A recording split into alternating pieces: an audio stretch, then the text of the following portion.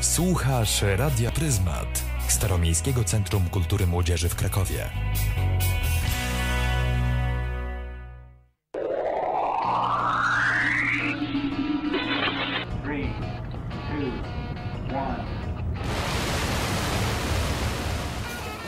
Przez pryzmat wiedzy.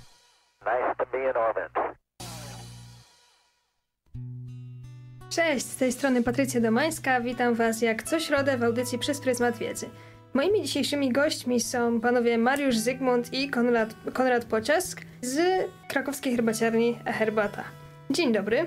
Dzień dobry. Dzień dobry. Dzisiaj porozmawiamy trochę na temat herbaty, no i tego, co z herbatą związane. Panowie, dlaczego akurat herbata? Skąd pomysł na to, żeby założyć herbaciarnię i, i sklep z herbatą? Więc tak, e, no pomysł dość długo kiełkował ze względu na to, że e, jak jeszcze byłem na studiach, trochę już, już tak powoli e, pasjonowałem się herbatą. Między innymi fascynowała mnie herbata akurat Longjing i no okazało się, że, że lubiłem właśnie gdzieś tam przychodzić do sklepiku herbacianego w, właśnie w poszukiwaniu takich nowych smaków. No i kiedyś tam sobie zamarzyłem, że żeby jednak otworzyć właśnie sklep internetowy. No i później, w momencie, kiedy już nie mieściliśmy się w domu z pakowaniem różnych właśnie paczek z tym, z tym związanych, chcieliśmy wyjść po prostu z tym wszystkim do ludzi. No i tak powstała herbaciarnia. Moja droga herbaty zaczęła się też na studiach i właściwie już na pierwszym roku studiów przez herbaciarnię, przez herbaciarnię Mariusza, gdzie przyszliśmy całą grupą ze studiów niedługo po rozpoczęciu studiów i od razu mnie, mi się bardzo ta estetyka herbaty, ten klimat spodobał. Zacząłem się interesować, kupować od czasu do czasu jakieś herbaty, a że byłem też e, na studiach japonistycznych, no to było mi bardzo blisko do e, kultury japońskiej, kultury również herbaty. W związku z tym jeszcze na studiach zacząłem też pracę w e, herbaciarni, no i tak zostało. A gdzie możemy Państwa znaleźć w Krakowie? Obecnie jest herbaciarnia, na szpitalny jest sklep. Dzięki temu właśnie dość, dość dużo osób po prostu ma ten wybór, czy pójść właśnie się napić herbaty, e, jak również właśnie przyjść i, i w sposób właśnie taki profesjonalny, specjalistyczny zostać obsłużonym. Wy zajmujecie się tylko herbatą, czy też y, można u Was kupić jeszcze jakieś inne, nie wiem, można powiedzieć zioła? E, Zioła tak, jak najbardziej. Znaczy, Chodzi mi bardziej o coś, co można parzyć. O. Wszystko, co się parzy, ale no, można powiedzieć niekoniecznie wszystko dlatego, że nie mamy kawy, tak? Ja akurat miałem wielokrotnie propozycję, żeby włączyć kawę, e, właśnie też taką wysokogatunkową do, do produktów właśnie tutaj herbaciarni, ale no ja sam nie jestem kawoszem, więc po prostu stwierdziłem, że robiłbym to wbrew sobie. Po prostu się na tym nie znam e, i lubię robić to, co po prostu umiem, to, co, na czym się po prostu znam, tak? Więc kwestia selekcji herbat jest mi o wiele bliższa niż właśnie testowanie różnych kaw. A mogę zapytać, w jaki sposób właśnie na przykład nowe smaki herbaty trafiają do Was? Czy rodzaje? No to jest bardzo złożony e, proces. Właśnie troszeczkę tak jesteśmy taką firmą właśnie bardzo taką rodzinną e, i wyselekcjonowaliśmy już tak no, od wielu lat, e, można powiedzieć, wiele rodzajów herbaty, które nam się gdzieś tam też spodobały. Natomiast nie jesteśmy sieciówką, tak? E, Jesteśmy taką firmą, która czasami nawet bierze od jednego dostawcy jedną, dwie lub trzy herbaty. To jest no, coś takiego raczej niespotykanego w świecie właśnie herbacianym, dlatego że no, zazwyczaj po prostu bierze się od tam większej ilości od, od, od właśnie dostawcy jednego, dwóch, trzech, e, a my mamy ich chyba ponad 40, jak niedawno liczyłem. 40 różnych dostawców właśnie, czy plantatorów, czy, czy właśnie jakieś firmy, jakieś hurtownie. I to nie tylko w Europie, również właśnie bardzo mocno się też skupiamy, żeby wynajdywać różne takie perełki. E, No ktoś nam to, to tak uświadomił niedawno, że po prostu mamy jako jedyni w Europie nieraz herbaty. A sami jeździcie y, na miejsce na plantację i tam próbujecie, czy raczej stacjonarnie tutaj? Bywa to różnie też, e, natomiast e, ostatnio no, coraz częściej się gdzieś tam też wybieramy. No, wkrótce właśnie Konrad rusza w podróż do Chin, już ma za sobą też Tajwan, tak, też Tak, Japonię. I Chiny również. I Chiny również, więc ja też byłem na Tajwanie i w Chinach e, w 2013 roku. Więc no, staramy się nawiązywać te kontakty takie, żeby były one bliskie po prostu bezpośrednio tam u źródeł, tak? E, Żeby no, to co najcenniejsze, żeby można było właśnie pozyskać. Jeśli jeszcze mogę coś dodać w kwestii selekcji herbaty, e, najczęściej chcemy dostać próbki tej herbaty, żeby móc ją wcześniej spróbować. Najlepiej, jeśli to jest herbata, którą już nawet mieliśmy, ale jeśli pojawia się jej nowy zbiór, to prosimy, jeśli to tylko możliwe, prosimy dostawców, żeby wysłali nam nową próbkę, żebyśmy mogli się przekonać, czy jakość tej herbaty się nie zmieniła, czy nie spadła. No chyba, że jest to dostawca, który jest e, już naszym kontrahentem od wielu lat i któremu dobrze ufamy, ufamy jego propozycjom i tak dalej. Wtedy możemy po prostu zaufać jego wyborowi i na słowo przyjąć jakąś herbatę. A jak wyglądają takie plantacje herbaty? One są gdzieś na wzgórzach, czy bardziej w dolinach, czy... y, I może to jakby Państwo mogli przedstawić taki krótki proces tworzenia herbaty? Plantacje herbaty mogą wyglądać bardzo różnie. To, co my najczęściej znamy ze zdjęć, to są równe rządki herbat e, przystrzyżonych krótko do kolan, do pasa czasami. Różnie to bywa. Przystrzyżonych po to, żeby było po prostu łatwiej je e, zbierać. E, I przystrzyżonych czasami po to, żeby mogły je zbierać maszyny. To już jest coraz powszechniejsza praktyka, bardzo szeroko stosowana w, e, w Japonii, w, e, również zaczyna się w Korei, w Chinach, jeszcze w Indiach to trochę kuleje. Generalnie herbata, której pola są położone na zboczach, jest uważana za lepszą. Herbata, która rośnie wysoko, ale to też zależy od gatunku. Są herbaty, które są tradycyjnie górskie, są herbaty, które są tradycyjnie nizinne i gdyby zasadzić je w górach, wcale by sobie nie radziły lepiej. Natomiast e, jeszcze jak chodzi o inny wygląd plantacji, plantacje na przykład ekologiczne. Często są to e, plantacje, gdzie już nie powinno się chyba używać słowa plantacja, a raczej ogród, które wyglądają jak chaszcze, jak zarośla, gdzie te herbaty są pozostawione samym sobie, gdzie naśladuje się naturalne warunki uprawy tych herbat. To jest tak naprawdę to, co nas najbardziej pasjonuje. To jest e, często wybitnej jakości herbata, produkowana w małych ilościach, bo też trzeba zaznaczyć, że taka produkowana na mniejszą skalę, bez użycia pestycydów, bez środków ochrony roślin, daje po prostu mniejsze plony, w związku z tym jest też droższa. A jeszcze inny widok plantacji herbacianej to będą drzewa herbaciane, należy powiedzieć, z Yunanu, które potrafią osiągnąć e, wysokość nawet 4 metrów, przy czym takie, z których zbiera się liście, często mają i 2 metry. To zupełnie nie przypomina krzewów herbacianych, dlatego nazywa się to już drzewami nawet. I później ta herbata jest zbierana z tych plantacji i co się z nią dzieje dalej? To jest zależne od e, typu herbaty. Na pewno każda herbata przechodzi takie wstępne suszenie, które nazywa się w żargonie więdnięciem.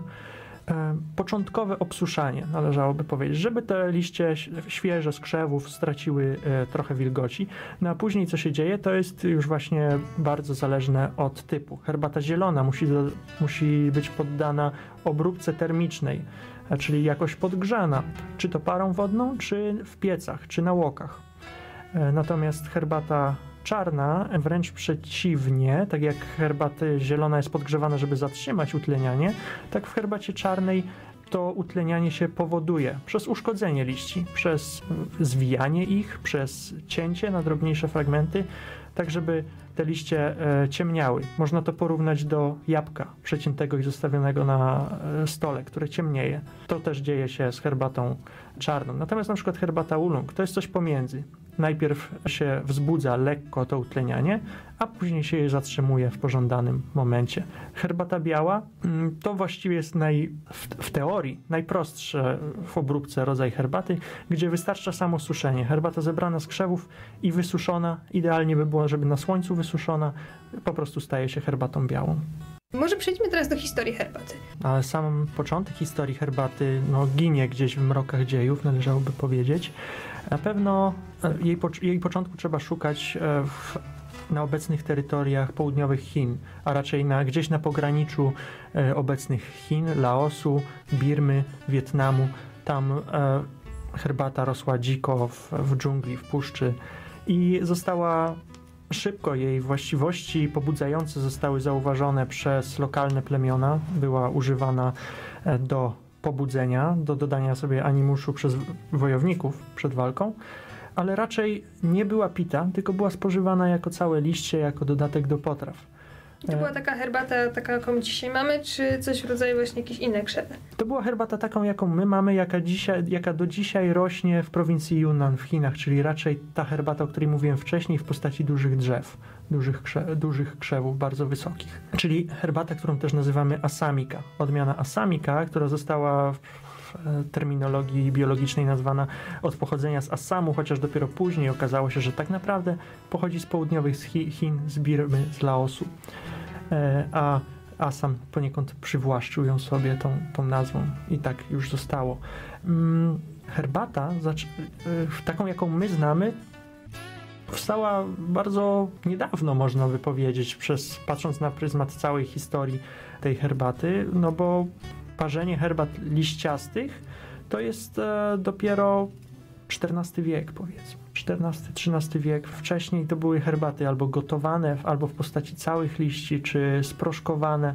Natomiast najstarsze zapiski o piciu herbaty w jakiejkolwiek formie pochodzą, jeśli dobrze pamiętam, z III wieku przed naszą erą. Więc to też nie jest, e, można powiedzieć, aż tak odległe, jak czasami się czyta czy słyszy o tysiącach lat herbaty e, historii herbaty.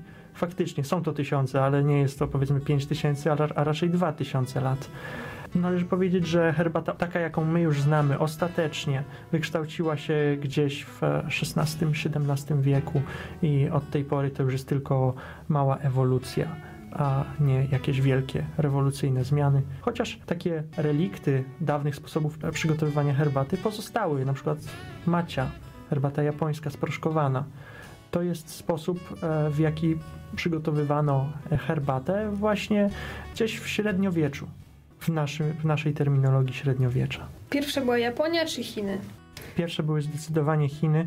Do Japonii herbata zawędrowała z mnichami buddyjskimi, bo też była nieodzowną częścią e, religii, gdzie mnisi e, pili herbatę też dla pobudzenia przy, przy długiej medytacji i z mnichami buddyjskimi zawędrowała do Japonii, jeśli dobrze pamiętam, w VI wieku po raz pierwszy, ale przyjęła się w wieku XIII dopiero. Już jako tak po raz kolejny, można powiedzieć, została wprowadzona i ostatecznie przyjęła się w Japonii. No tutaj mamy Chiny, Japonię, czyli raczej Azję, ale wiemy też, że mamy herbatę z innych rejonów świata, prawda? Czy na przykład Turcja.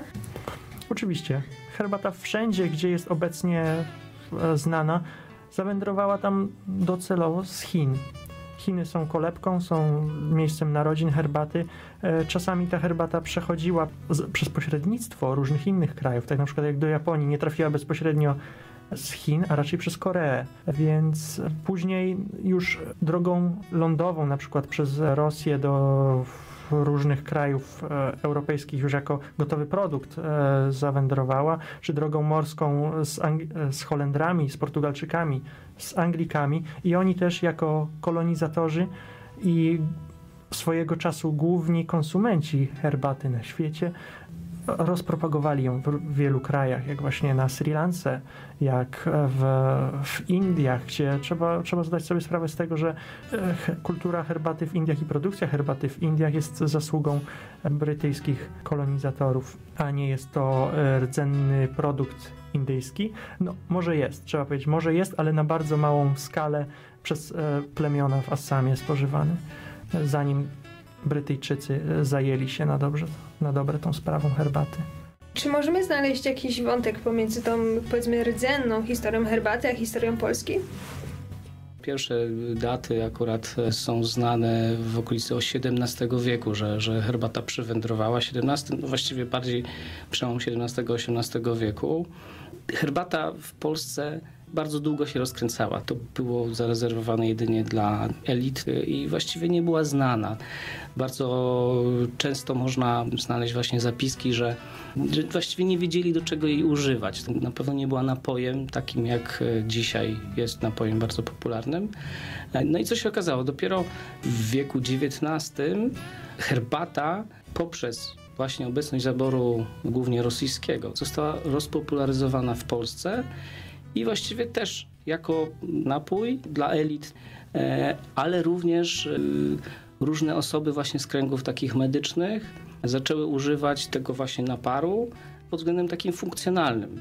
czyli nie tylko i wyłącznie jako e, napar do picia, bo to było właściwie mniejszą jakby uwagą, natomiast bardziej jako produkt leczniczy.